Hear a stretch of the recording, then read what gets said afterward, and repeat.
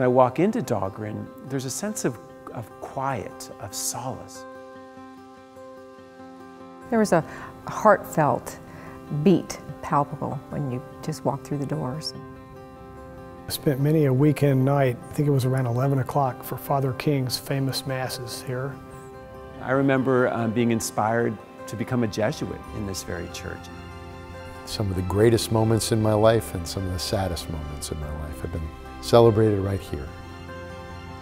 It's sort of a magical place, I guess. Dahlgren is the heart for the campus. Our religious mission is central to what we do, and Dahlgren reminds us of that.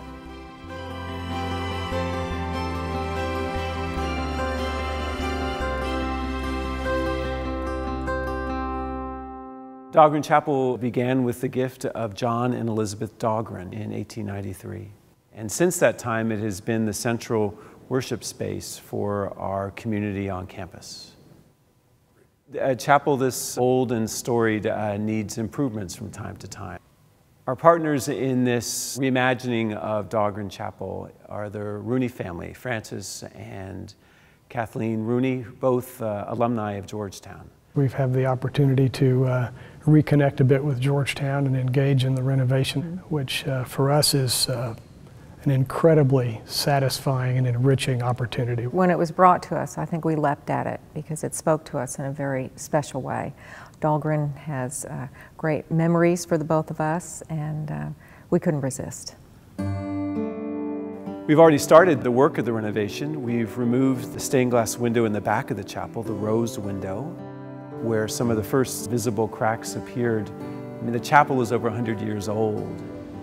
You'll see on the walls of the, of the chapel some smaller and some larger cracks, which indicate the foundation is settling, and that's what we need to shore up. This chapel is at the heart of everything that we are.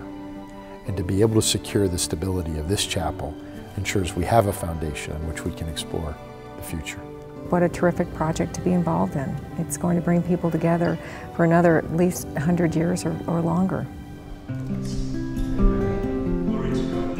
People use this chapel all the time. During the work week, we have a noon mass, and then on uh, any given Sunday, we have as many as seven masses. And then on a Saturday, we, there are usually uh, one, two, or three weddings here. We hope that this chapel will continue to focus on the Jesuit and the Catholic nature of the education experience at Georgetown. It was the Jesuits that always drove you to make yourself a better person, to think more clearly, and with greater depth, and, and that's uh, something that has stuck with us.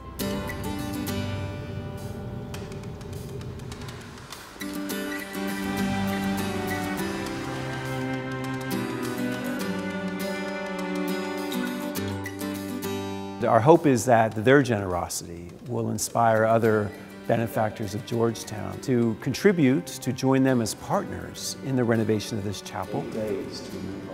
And I can't think of a better place to show generosity uh, than this. What I hope the members of the greater Georgetown University community see is the promise and possibility that emerges when an individual who has a passion finds a way to connect that passion to the ambitions of the university. At Dahlgren Chapel, we speak of the good news. But we also remind our students that, that good news has got to be lived out. And what the Rooneys have done here is to live out the good news, to give what they have for the good of others. And just when we needed someone most, Francis and Kathleen came forward and gave us this gift. And it was as if prayers were answered. So that for generations to come, this will remain a place at the very heart of everything we are as a university community.